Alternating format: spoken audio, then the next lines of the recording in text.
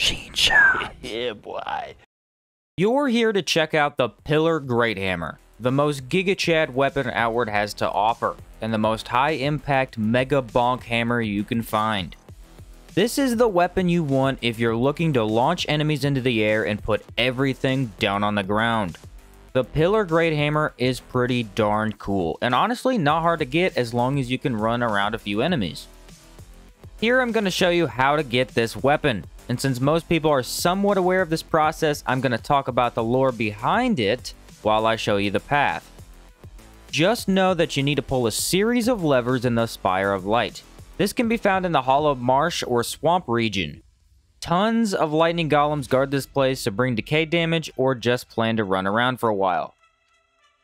The Pillar Great Hammer is hidden inside the Spire of Light. It resides near a legacy chest conveniently placed among some pillars that make it less obvious to find. But how to get here?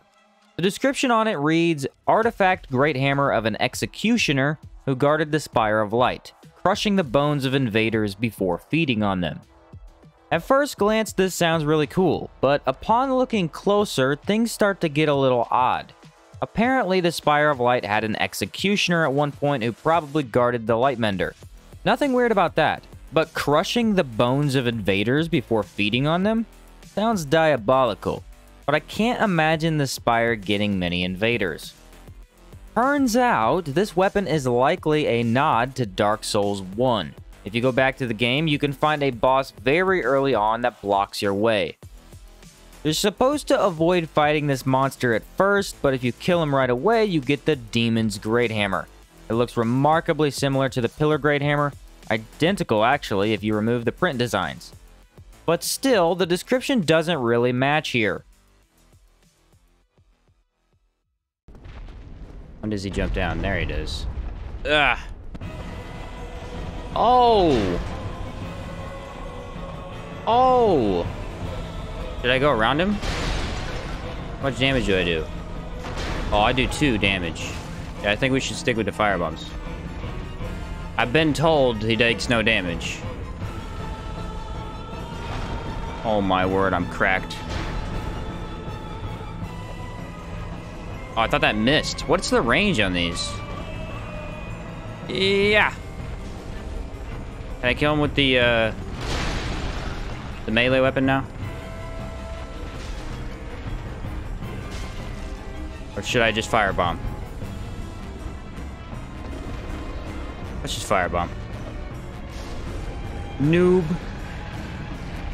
This game's easy.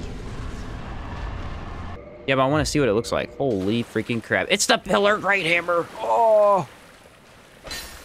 Ouch. How much damage does it do even if I can't use it? Uh, I don't know why, but that hit me. Where are you? I have a hit, a giant hammer to hit you in the head with. Stop running away. Oh, a bandit's knife. I think that's the good knife that I get. Come back here. I'm gonna hit you in the head with this.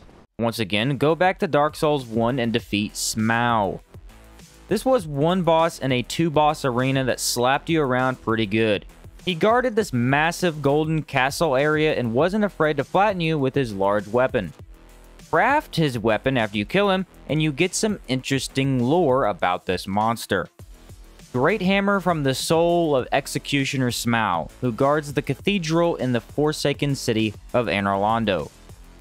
Smough loved his work, and ground the bones of his victims into his own feed, ruining his hopes of being ranked with the Four Knights. The Pillar Great Hammer has crushing the bones of invaders before feeding on them, Smough's hammer has ground the bones of his victims into his own feed. This is a little too obvious to be a coincidence, so it seems the inspiration for the Pillar Great Hammer was to introduce a little Easter egg for Dark Souls, and create a big boy hammer at the same time. Kinda cool that Outward shows respect to one of the greatest RPGs of all time. As for the hammer itself, it's absolutely amazing.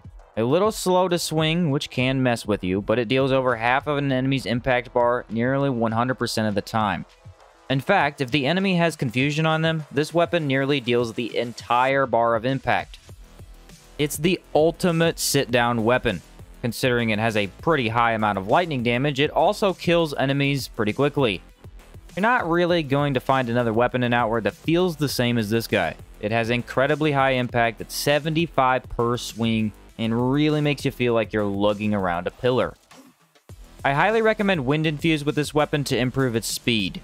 Funnily enough, this would make its impact even better, which is kind of ridiculous. And since the weapon has elemental damage, you never need a varnish anyway. Wind Infuse is really strong with this weapon.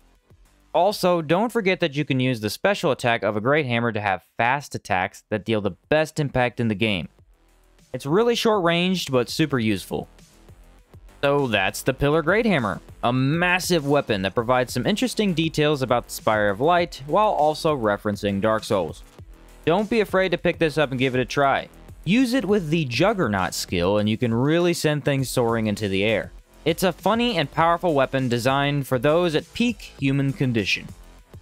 Thanks for watching guys and hopefully you found this one kind of cool. I have covered the Spire many times on this channel in different videos, but the Pillar Great Hammer deserved its own guide.